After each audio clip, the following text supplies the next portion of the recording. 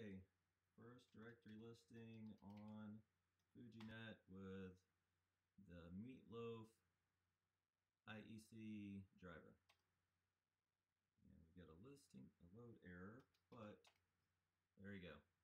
So still got some timing issues, but it's getting there.